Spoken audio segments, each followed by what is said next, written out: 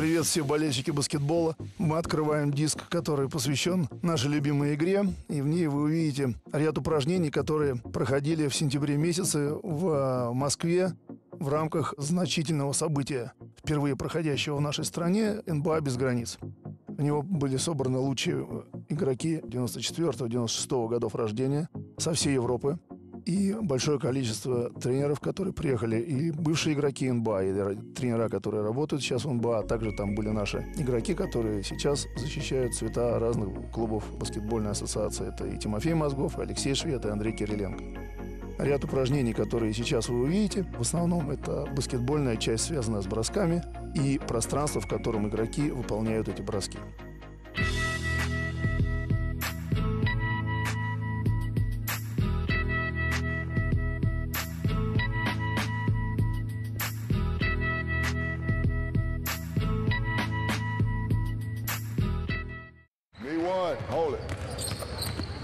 Сейчас видим одно из первых упражнений, в которых тренер просит ребят, выполняя самые наверное, распространенные э, броски в баскетболе с выхода с лицевой линии, получения мяча и все время уход в левую сторону. Также это тренируется и бросок и в правую сторону. Независимо от какой стороны ты выходишь, ты все равно выходишь влево. Здесь очень важно баланс, в котором выполняются броски. Мы сейчас видим, что не все игроки хорошо обладают. И провод мяча. Потом мы видим другие упражнения, которые будут связаны с тем, что это будет выполнение правильно. И сейчас забить надо 15 бросков. Тренер считает, два помощника ему помогают. И здесь очень большая концентрация на получение. Один удар обязательно надо сделать. И именно сейчас в левую сторону. Без пробежек, да. И самое главное, что во всех этих упражнениях а, ребята, которые приехали из НБА, не делят ребят на больших и на маленьких. Все должны выполнять вот эти упражнения.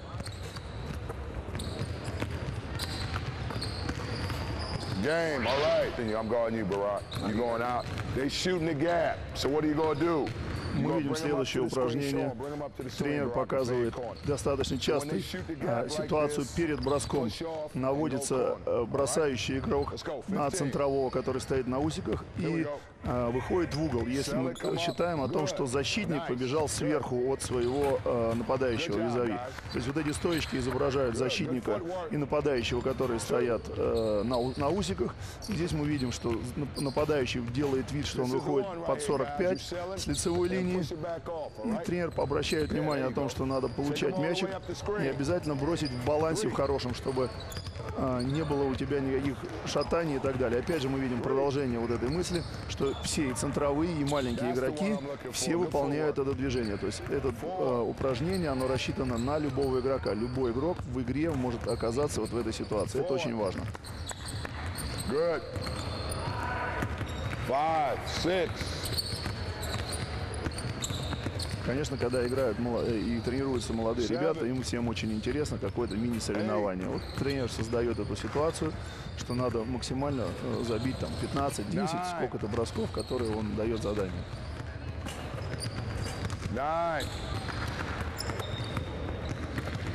Причем обязательно, что и маленькие, и большие брос... игроки здесь бросают с 4-5 метров. Не надо обязательно увлекаться этим 6-метровым броском, особенно в начале мы видим, что не у всех игроков хороший баланс, чтобы бросать правильно издали. Do the same thing. Do the same thing. Do the same thing. Now what you gonna do? Close out? Yes. Следующее, упражнение, оно более э, усовершенствование. Эта ситуация такая, что также выходит защитник, но вдруг произошла смена, и он должен, э, защит, нападающий, должен четко сообразить, в какую сторону у него уходит. На дальней стороне мы видим, что нападающий. И здесь тоже э, тренер изображает защитника, и нападающий должен прочитать эту ситуацию, в какую сторону ему уходить вправо или влево, в какую сторону ему ситуация для броска будет более открыта. То есть не просто бросок с выхода со статического положения, а бросок э, после дриблинга, после одного удара. Также обязательно эта ситуация связана с тем, чтобы игроки не делали пробежки, потому что бывают ситуации, что при, ос- особенно не при прямом шаге это делается. То есть и в балансе, которым они бросают, опять же, мы видим, что игроки все от- э, и большие, и маленькие, все бросают одновременно. И здесь, опять же, мини-соревнования для того, чтобы забивать результат какой-то был. Здесь тренер оставляет возможность выбора игроку, как он себе представляет защитника, выход и уход или вправо, или влево, то есть или в центр, или в лицевую линию. Нету жестких условий. Игроки сами определяют, что им выгодно для себя сделать в одну сторону так, в другую так, что лучше получается или над чем надо больше работать.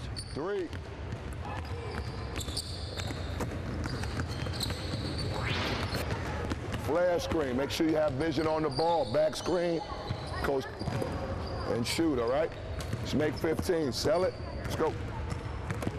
Опять же создается игровая ситуация, так называется флэр, а, заслон, который ставится уходящий, то есть игроку не к мячу, который уходит, а от мяча. Очень популярный, так скажем, в последнее время заслон, который дает пространство игроку если получение мяча для быстрой атаки. И сейчас мы видим, что игрок изображает вход в центр, стоечки или тренер, который сейчас стоит, обозначает вот этот заслон. И хорошая передача, и быстрый бросок должен быть. То есть если вы как раз оторвались на... э, ваш защитник потерялся, вы оторвались от своего защитника, вы можете выполнить быстрый бросок. Опять же, я говорю, повторяю, в принципе, здесь некоторые центровые делают э, этот бросок, хотят в этой ситуации они должны ставить этот бросок. Здесь нету деления, вот именно вот в этом лагере нету деления. Все проходят обучающую стадию для того, чтобы потом в ситуации могли вот это совершить этот бросок.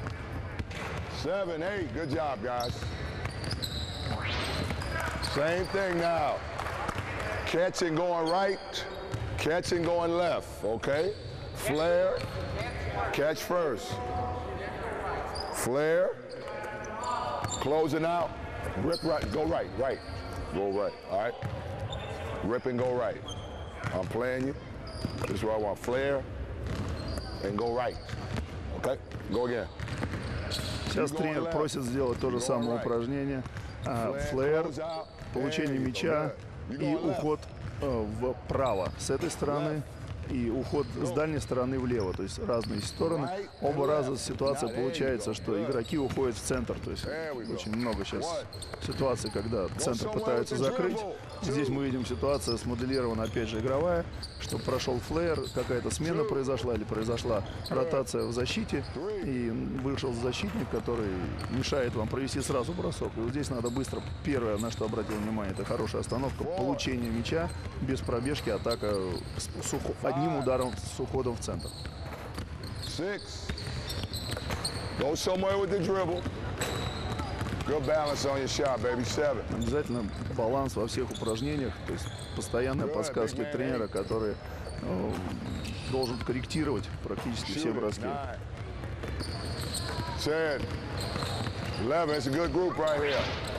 Same thing. Set your man up. Inside foot. Shot. 15, all right? Two lines. Then we'll shoot threes. Good job, guys. Way to make shots. Up. Опять же, игровая ситуация при выходе из заслона, который ставится практически в углу площадки, и выход, получение мяча из центра. Ситуация для быстрой атаки, где-то под 45, опять с 4-5 метров. Удобная передача, чтобы выходил и сразу быстро бросал, чтобы были все время готовы ноги. Не приседать после получения мяча, одновременно с получением мяча, чтобы ноги уже были готовы и быстрая атака. Seven. Eight. Все Nine. эти броски как раз создают вот эти игровые ситуации. Не просто бросок, а выход. Бросок, чтобы ноги были одновременно готовы, одновременно было туловище готово. И стараться, конечно, попасть. Nine. Ten. Eleven. Twelve. On your mark. Need a rebounder here. Rebounder. Yeah. Go. Get him up. Go. Это упражнение более, более статический бросок. А, но здесь мы говорим о том, что а, как бы по нашей системе бьешь-подаешь. Один, один, один из игроков стоит э, на подборе, два мяча на команду, в которой находится там 5-6 человек. И броски с, с, практически со статического положения из угла. Очень сложная точка, это 5-6 метров как раз из угла, потому что не все бросают трехочковые броски. Но один игрок после своего броска идет на подбор, поскольку два мяча достаточно быстро, в хорошем темпе эти броски идут. И опять же, вот ситуация связана с тем, что это мини-соревнование, чтобы как-то молодые ребята были более быстрее заинтересованы, и определенный азарт никому еще никогда не мешал во время выполнения бросков. Six, seven. Видимо, ребята быстро поменяли точку, сыграли до 10 в, этих, в эти броски. И получается, что на 5 человек два мяча, один на подборе и остальные в ожидании броска. Независимо от позиции, опять же, все игроки стараются бросать трехочковые броски, хотя мы видим там и маленьких разыгрывающих игроков, и высоких центровых, для которых это, наверное, бывает чуть-чуть редко и сложнее сейчас.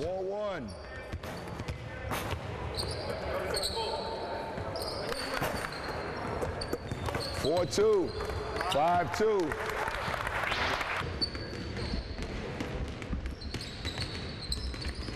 Сейчас ряд упражнений, которые уже э, с бросковыми.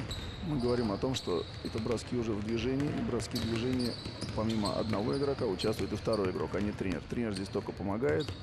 И здесь делает э, упражнение, акцент на пик-н-роллы. Мы видим сейчас пик-н-ролл, который разыгрывают два участника. Первая ситуация мы видим после первого же выхода. Это вот сейчас мы видим заслон. Выход видим, что играется реверсный пик-н-ролл атака маленького игрока идет, ну, а Навара, так скажем, с одной ноги с 4 метров. А большой игрок делает э, пик-н-поп и атакует э, с 4 метров после того, как тренер ему отдал передачу. Очень часто встречается эта ситуация в игре. И для того, чтобы ребята знали, как правильно ее делать, чтобы вот эта мышечная память осталась. Вот это как раз упражнение очень хорошее. Во-первых, ребята видят практически три вида прохождения заслона и реверс, и пик-н-поп, и потом можно играть пик-н-ролл, то есть как бы в зависимости от того, кому тренер отдает мяч. Вот здесь уже мы видим легкое разграничение между маленькими игроками и большими, кому что надо. Ну, тоже, можно сказать, практически взаимодействие командное, 2 на 2 при, при помощи тренера. И что очень важно, все игроки в этом упражнении бросают.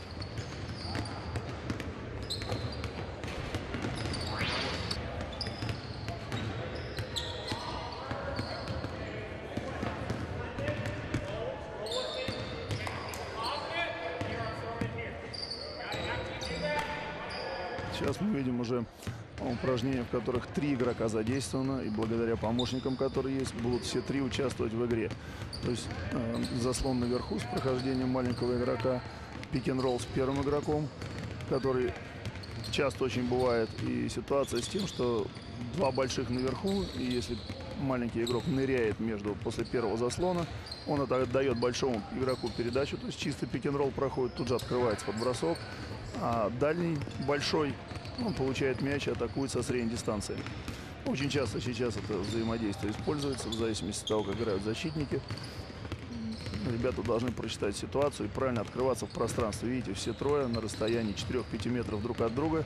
И как раз в игре вот эта ситуация называется пространство, в котором они будут играть. Видите, то есть очень важно вот это соблюдать. Помимо попаданий, важно, очень важно понимание, куда игрок должен открыться.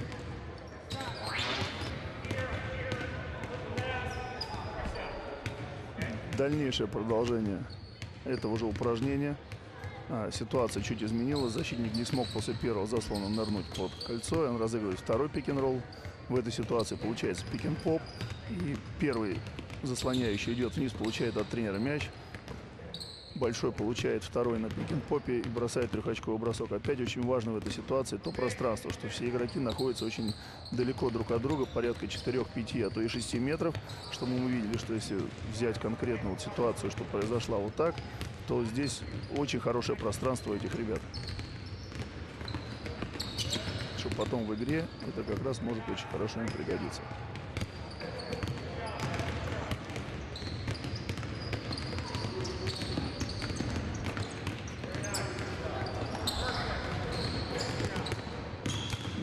Кольца атакует с показами, то есть вся игровая ситуация. Игрок э, маленький атакует с паса как будто из угла, то есть максимально приближено к игровой ситуации это упражнение. Пока только без защитников.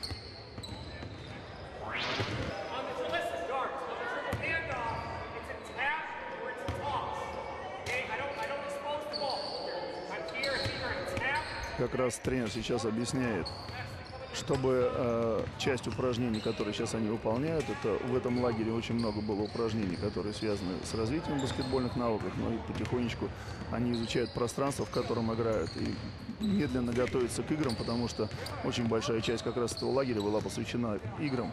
И это может быть даже часть определенных взаимодействий, в которых они будут принимать потом участие, потому что за три дня, за два выучить что-то сложное тяжело.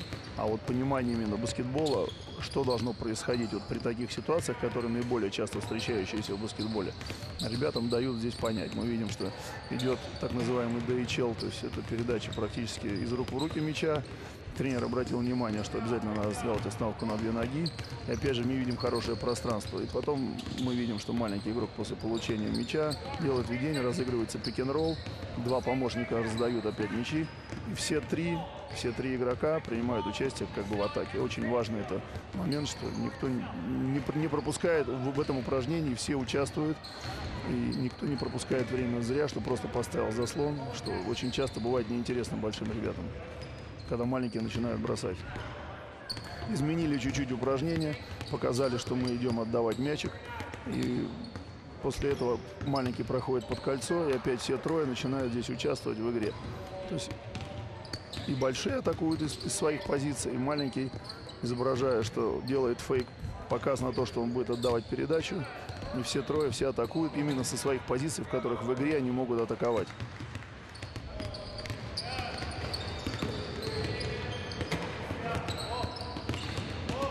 Видим, что большие ребята уже из тех позиций, которые для них близко, забивают уже сверху, хотя это молодые игроки. Видите, пространство, все три игрока, которые даже выполняют броски, находятся очень в хорошем пространстве. Новый вариант это уже взаимодействие, когда мы видим, что игрок делает бэкдор.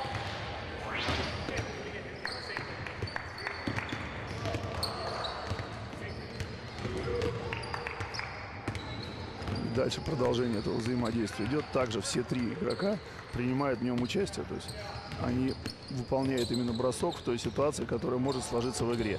Не просто бросок, что большой бросает оттуда и так далее. Это первая часть была наших, э, на нашем диске.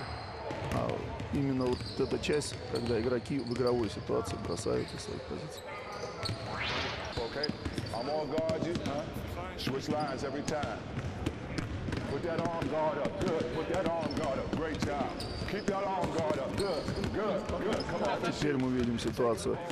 А, тренера помогают изобразить, что здесь происходит э, пик-н-ролл с краю. Мы видим, как Андрей Кирленко сейчас начинает помогать.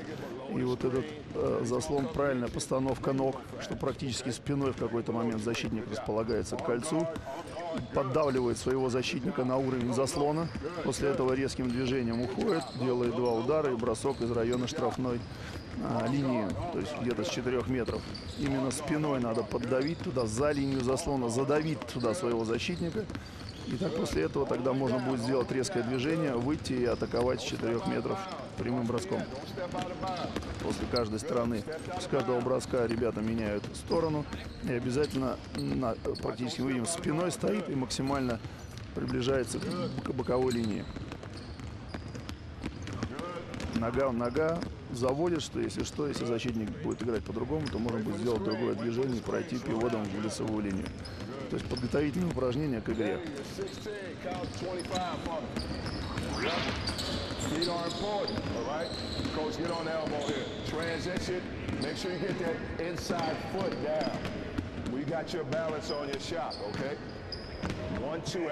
Вариант, как он тренер говорит, что это в переходе тебе пришел, пришла передача, и ты должен остановиться именно шагом, то есть раз-два, раз-два, то есть ближ, ближняя нога к тренеру останавливается. Первую, ты подставляешь вторую и выполняешь бросок. В переходе. Именно вот в балансе. Вот здесь ребята уже сложно, потому что с дальней стороны мы видим, тренер мешает им. Но здесь как раз получается, что эти ребята в хорошем балансе.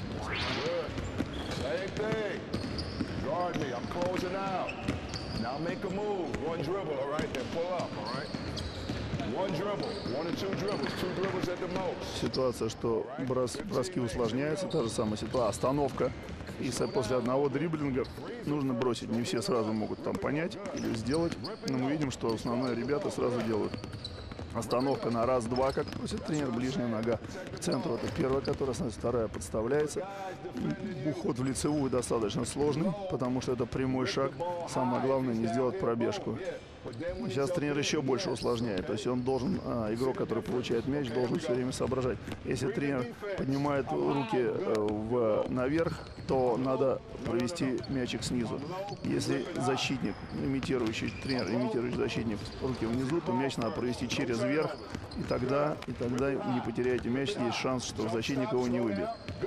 Как раз здесь, помимо того, что ты остановился правильно, ты должен принять правильное решение и с одного, после одного удара выполнить хороший бросок.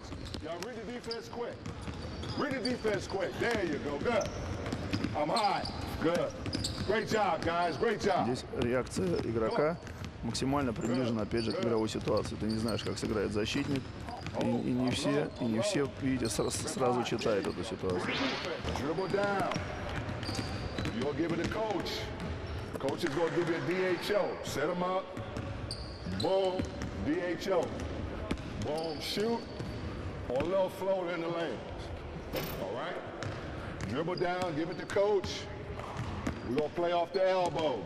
Ситуация чуть меняется с помощью тренера, даже двух тренеров. Ситуация проходит, что закрывают при этом лицевую линию через передачу, через получение мяча из рук в руки практически, DHL, как вот это называется, посылочка приходящая. Вот, проход опять центр, после одного удара бросок, э, опять же бросок вот этот самый, наверное, востребованный и очень важный, и кто им об- обладает, очень имеет большой шанс. А тренер здесь дает на выбор бросать или э, penetration shot, остановка на две ноги с 4 метров, или с трех где-то метров уже бросок с одной ноги, вот то, что мы говорили, там, память о Наваре. Разные броски надо иметь в своем арсенале. We want you guys to get in the paint. When I get in the paint, I'm going to draw it to Karolinko. Then he's going to penetrate. Then he's going to give it to Danny. Then he's going to penetrate. And when I say shot, shoot, then we'll give it to the other two guys to shoot, okay? It's just a penetrate. So if I go baseline, what are you going to do, Danny? There you go. Baseline drive, baseline drift. If you want to go either way, I'm reading him, okay? Two feet in the paint. Three guys at a time. When I say shot, the guy with the ball shoot, and the other two guys are gonna get shots, all right? Coaches grab balls, all right? Three lines. Three lines. We need to get in their paint. Сейчас мы видим более сложное уже упражнение, как раз то пространство, в котором должны играть игроки. Взаимодействие трех игроков а, при условии, что кто-то проходит э, с в центр э, зоны. И реакция других игроков на этот проход, смещение, понимание, куда надо сместиться, чтобы освободить пространство. Два других игрока с помощью тренеров тоже выполняют броски. Здесь мы видим, что э, не сразу ребят все, естественно, получается. То есть тренера показали более грамотно. Но мы видим, что сейчас все будет получаться, потому что это пространство, именно в котором ребята играют. То есть если ты идешь, чтобы они не сталкивались лбами, ситуация очень важна. Реакция, вот эта реакция игрока на то, как играет твой партнер. То есть реакция защитников, мы видели предыдущее упражнение, как защитник играет. То есть игрок должен при получении еще нападения, он должен понимать, как играют его товарищи по команде, чтобы было пространство, в котором можно играть. Что вы видите, достаточно все широко, и броски, броски проходят из чистых позиций. Я думаю, что как раз очень удобно вот это понимание игры. Много вариантов этих упражнений есть на понимание, кто куда должен пройти. За три дня, которые ребята находятся в этом лагере, конечно, очень сложно. Но вот это базовые упражнения, где игрок должен просто видеть и понимать, что должно происходить. То есть, если игрок идет в центр, то не может ему в лоб уже прийти выбегающий человек из трехсекундной зоны. Он должен пройти в лицевую линию. Ну и, естественно, тренер, тренер пытается взбодрить ребят тем, чтобы они лучше попадали, что если двое уже забили из трех, это уже хорошо, а если трое, то это вообще замечательно. He knows the time. I know it's the five seconds. He's waiting five seconds. He's dribbling. He resets time. Then he gets back to play the post. He rush. You gotta go crazy. It's not a rush. Сразу мы видим упражнение уже с использованием защитных действий, когда игроки с помощью тренера играют 2 на 2, но с определенным лимитом времени. Опять же ситуация только полплощадки, то есть игрок, получивший мяч под 45, а, может отдать передачу выходящему по лицевой линии большому игроку, того освобождает тренер, помогает ему с помощью заслона выйти. Вот здесь опять же реакция игроков, реакция игроков на взаимодействие между собой. То есть там игра идет один на один, и мы видим, что часто используются каты, как это вовремя сделать, как игроки могут отдать передачу и смотреть, как, как передача первая отдается. Вот сейчас мы видим, что ситуация, игрок очень хорошо сыграл в защите, нельзя отдать передачу. Одновременно с этим маленький, большой игрок не смог выйти на позицию для получения мяча на у сына, в позицию центрового лоу-поста. Тренер подсказывает, как это правильно сделать, что после заслона надо сделать резкий рывок и постараться как можно больше места занять. И здесь мы видим, что за хорошее взаимодействие, даже здесь сейчас уже двух ребят, не очень хорошее завершение атаки. Но вот это взаимодействие очень важно.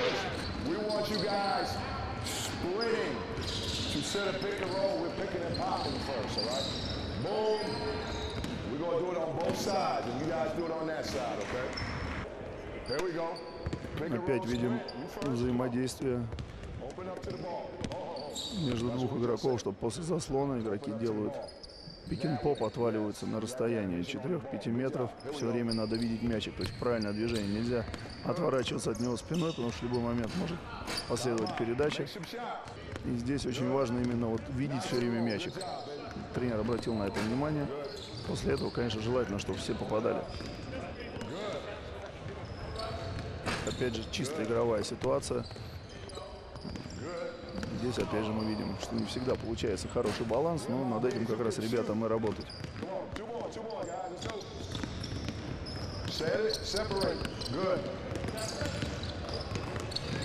Come on. Shoot the ball. Come on. Get your legs under you. Сейчас мы видим другую ситуацию, так называемый заслон вниз, который идет, хотя идет на линии лбоу. Мы видим эту ситуацию, что опять же пространство. То есть тренер дает передачу, уходя к боковой линии. Игрок, ставящий заслон, идет практически в центр трехсекундной зоны. Видим, что ребята уже могут некоторые забивать сверху, некоторые атакуют средним броском, некоторые броском с одной ноги. Здесь э, на выбор уже, потому что разные бывают ситуации. И кто в какой ситуации здесь окажется в игре, всегда должны для себя понять, что это маленький игрок. Не обязательно бежать под кольцо, потому что там будут другие игроки, и отвалиться надо на 3-4 метра и оттуда атаковать. А если ты уже большой, то можешь идти под кольцо и там сделать. Сейчас мы видим ситуацию, когда тоже большой игрок поднимается снизу и делает э, так называемый шорт-ролл. Это не пик-н-ролл и не пик-н-поп, который мы говорим, что если пик-н-ролл, он бежит ровно четко под кольцо, а пик э, поп открывается на трехочковую дугу. Это как раз средняя позиция, когда игрок, в основном это обладающий хорошей техникой, хорошим броском, четвертые номера, пятые, которые могут с 4-5 метров спокойно бросить, не, не особо любящие, может быть, контактную игру под кольцом и не обладающие хорошим дальним броском, как раз вот этот шорт-ролл, э, средний, средний, э, в средней позиции, он как раз будет обладать вот этим хорошим средним броском. Good luck to your team today, man. Last day, got two games today, so play hard, don't get hurt, man. Good luck to you guys. Good job. Great. Hard work on three. One, two, three. Hard work. Good job, boys. Gonna get a lot of shots up. Good work.